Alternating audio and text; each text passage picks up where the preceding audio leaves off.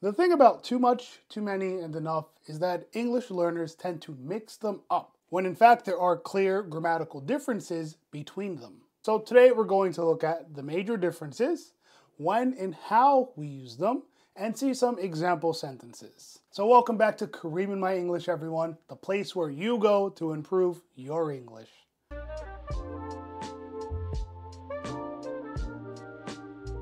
Too much and too many are both used when we have an excess amount of something.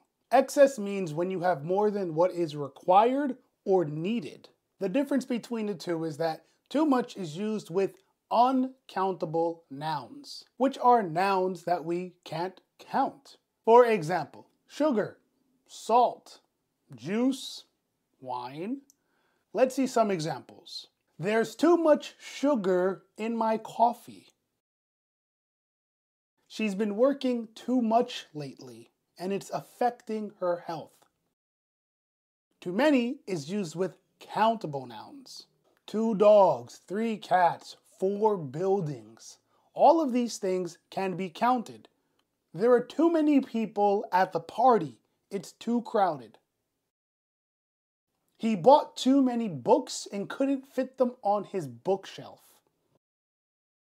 Enough is also used to express the quantity of something. However, it indicates that you have an adequate, a sufficient amount of something. Simply put, you have the right amount. If I want five chickens and you give me four, that's not enough. If you give me six, that's too many. If you give me five, that's enough. Now, if you're wondering, do we say enough with countable or uncountable nouns? Well, the answer is both.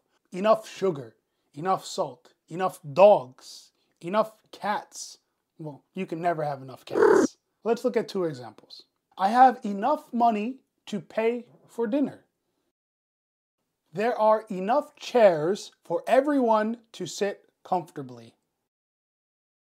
So let's summarize. Too much and too many indicate that you have more than what you need, while enough indicates you have the right amount.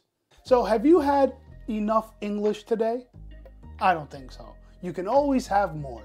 And if you want to learn more English, you can follow me on Instagram, TikTok, and Facebook at Kareem in My English. And if you found this video useful, don't forget to hit that like and subscribe button because we upload videos every week. Everyone, thanks for watching, and I'll see you in the next one.